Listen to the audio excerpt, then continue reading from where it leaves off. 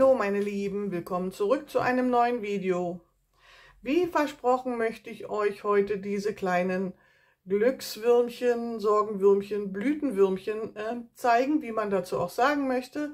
Für Anfänger war das Kurzvideo nicht ganz so verständlich und deswegen mache ich es heute noch mal etwas ausführlicher und wünsche euch ganz viel Spaß dabei.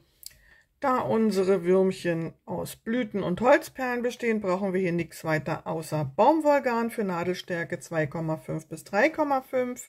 Ich nehme wieder so einen Fliederton. Ihr könnt jede andere Farbe dafür benutzen. Ihr könnt ihr auch verschiedenfarbig machen. Alles euch selbst überlassen. Eine passende Häkelnadel. Ich nehme eine 2,5er. Natürlich eine Vernähnadel und eine Schere. Und verschiedene Größen Perlen. Hier sind äh, schon verschiedene Größen vorgepackt. Das sind 15 mm, 12 mm, 10 mm, 8 mm, also verschiedene Größen. Und für den Kopf, die sind hier nicht mit drin, habe ich eine 20 mm Holzperle. Ich verlinke euch das alle un alles unter dem Video und wir legen los. Für unser Blütenwürmchen brauchen wir fünf Blüten. Die können einfarbig sein, mehrfarbig, wie ihr möchtet. Und die häkeln wir so, wie ich das jetzt zeige. Und zwar beginnen wir mit einem Fadenring. Das offene Ende zeigt nach oben. Der Faden wird durchgeholt und alles mit einer Luftmasche verschlossen. Ihr könnt alternativ auch sechs, Fest, äh, sechs Luftmaschen häkeln, die zu einem Kreis schließen und dann so wie jetzt weiterarbeiten. Also, wir haben den Fadenring fertig und arbeiten in diesen Fadenring. Sechs feste Maschen. Eins, zwei, drei, vier, 5 und 6. Ziehen den Fadenring zusammen und schließen das Ganze mit einer Kettmasche in die erste dieser sechs festen Maschen. 1, 2, 3, 4, 5, 6. In die erste wird eine Kettmasche gehäkelt und der ganze der ganze Ring verschlossen. So sieht das jetzt aus. Kettmasche ein bisschen fester ziehen, dass man nicht auf die Idee kommt, da nochmal einzuarbeiten. Jetzt tägen wir zwei Luftmaschen und in die gleiche Masche, in die wir soeben die Kettmasche gemacht haben, kommt jetzt ein Stäbchen.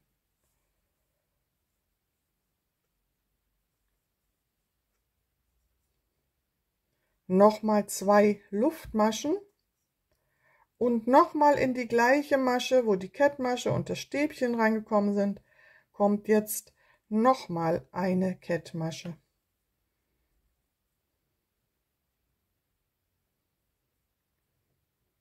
So, das erste Blütenblatt ist fertig. Wir nehmen uns die nächste der sechs festen Maschen, die wir vorhin gehäkelt haben, also in die nächste. Einstechen, eine Kettmasche, zwei Luftmaschen. Und ein Stäbchen in die gleiche Ket äh, feste Masche, Entschuldigung, also ein Stäbchen. Wieder zwei Luftmaschen, eins, zwei und nochmal in die gleiche Masche eine Kettmasche. Wir arbeiten also dreimal in die gleiche feste Masche. Ich zeige es nochmal. Die nächste feste Masche. Machen wir ein bisschen größer, so. Also in die nächste feste Masche, eine Kettmasche, zwei Luftmaschen. Und in die gleiche Masche kommt ein Stäbchen.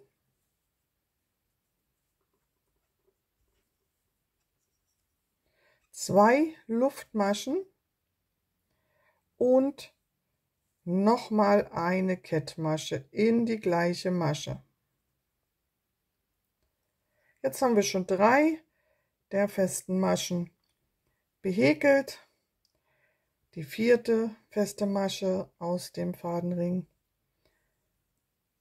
Eine Kettmasche, zwei Luftmaschen, ein Stäbchen in die gleiche Masche.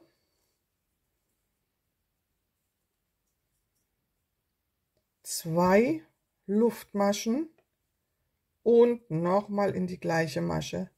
Die Kettmasche.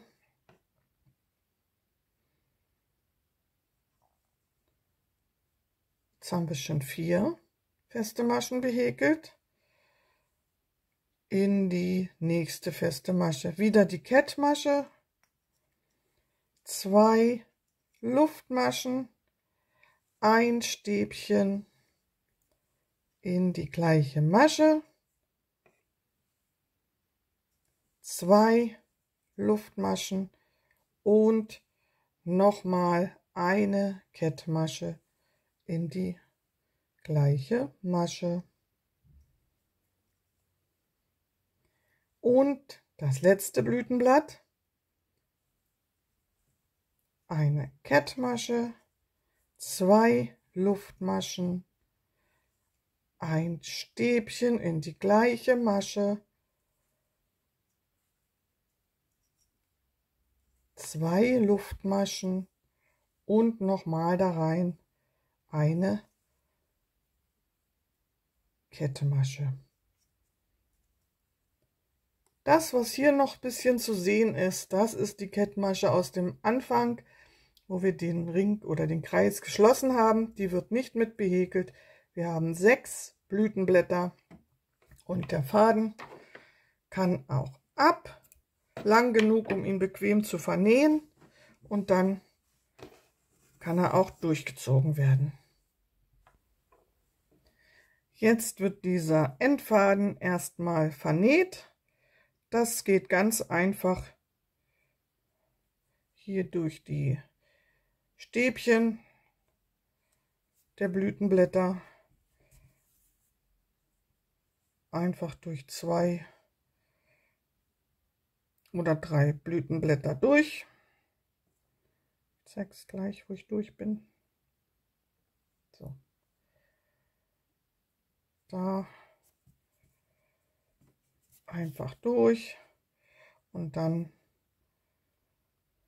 kann der auch schon ab.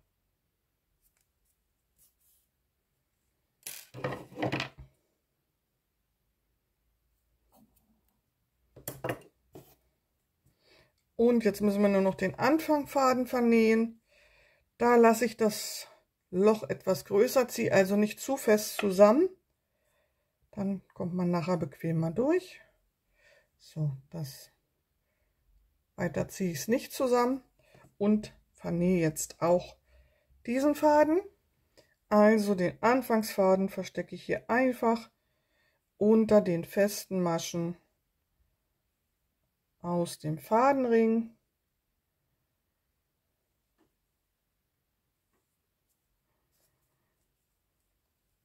Und dann ist auch der verschwunden. Wie gesagt, das Löchel nicht ganz so festziehen. Da kann ruhig eine Lücke bleiben.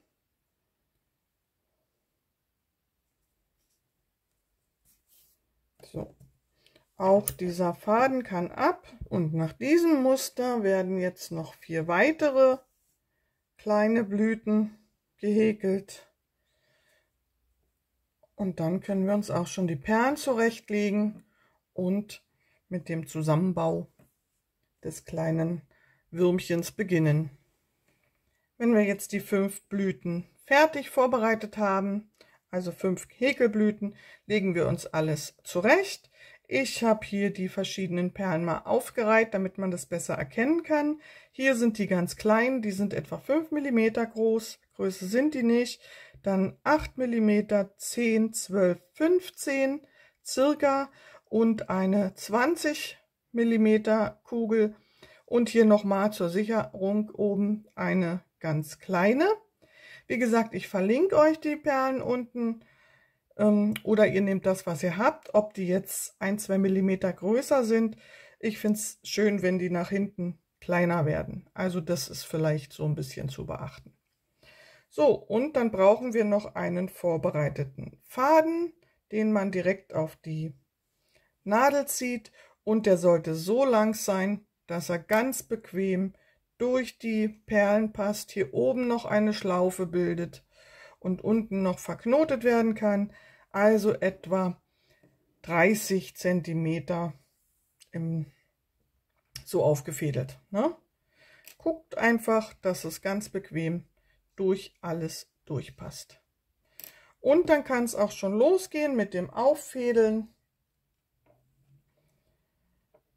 Dafür ziehe ich mir den Faden aber erst noch mal so, weil der ist, wird einmal hin und einmal zurück gefädelt. Ich fange hier hinten an mit der ganz kleinen und der nächsten Größe, ziehe das auf den Faden. Als nächstes die erste Blüte und die nächste Perle. Wieder eine Blüte. Na, komm her. Und die nächste Perle.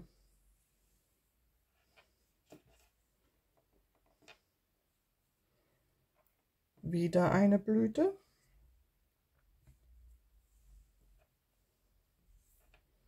Die nächste Perle.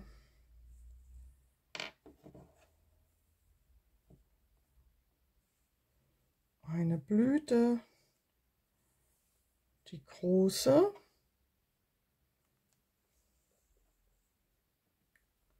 Eine Blüte, die letzte in dem Fall.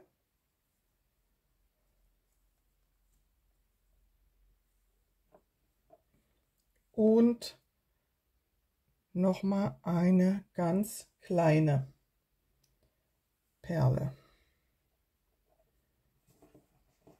So sind die jetzt aufgereiht.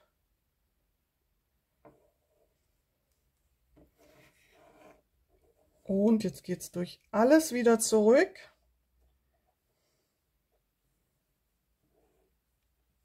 Ich habe den Faden jetzt ein bisschen hochgezogen. So, durch alles nochmal zurück, durch alle Blüten, durch alle Kugeln. Aber aufpassen, dass hier hinten die Schlaufe nicht durchgezogen wird, die soll ja zur Aufhängung dienen.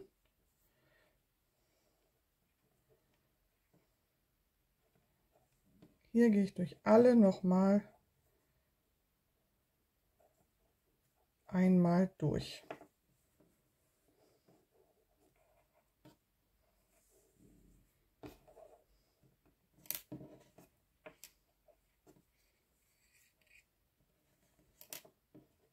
So.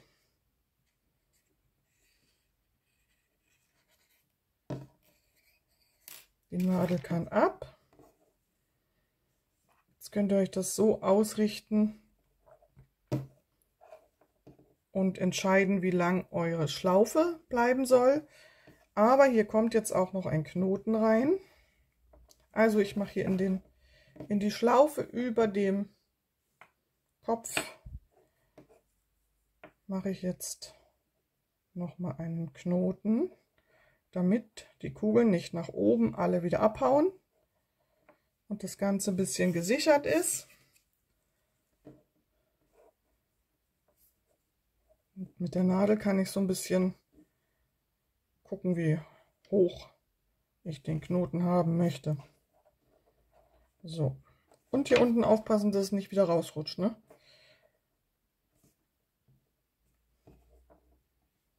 So. Da oben ist es jetzt schon gesichert. Ich habe hier meinen Knoten drin.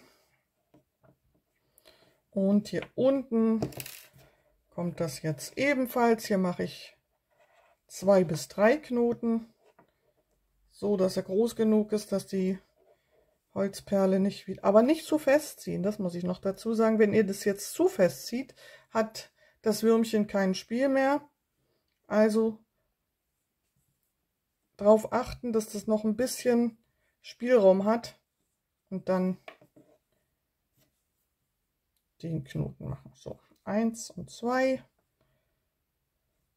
Und ich mache noch einen dritten.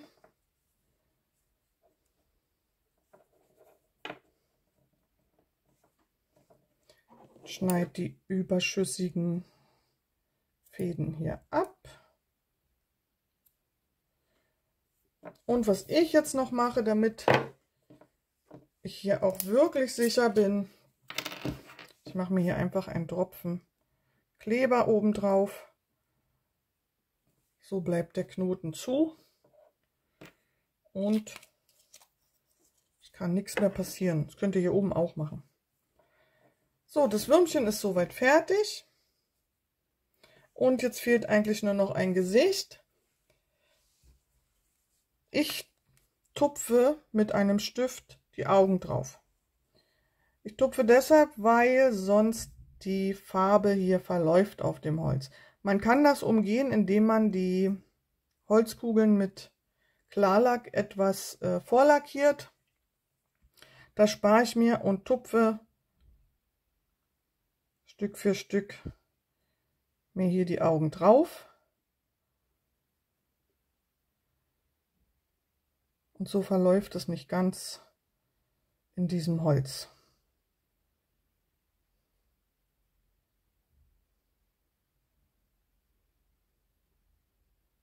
So.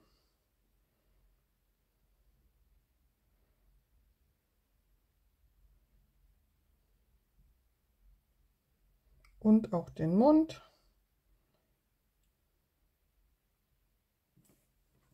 Und fertig ist er. So, ihr seht, es ist gar nicht so schwer. Hier habe ich die Augen etwas größer gemacht. Es ist gar nicht so schwer, diese kleinen Blütenwürmchen herzustellen. Und ich hoffe, ich habe es euch jetzt ganz gut erklären können. Auch Anfänger kommen hoffentlich jetzt damit zurecht. Also das war mir jetzt auch wichtig. Und wünsche euch ganz viel Spaß beim Häkeln. Ich freue mich schon auf eure Fotos mit den verschiedenen Würmchen ähm, in farbig, einfarbig, groß, klein. Ich freue mich drauf. Also ganz viel Spaß und bis zum nächsten Mal.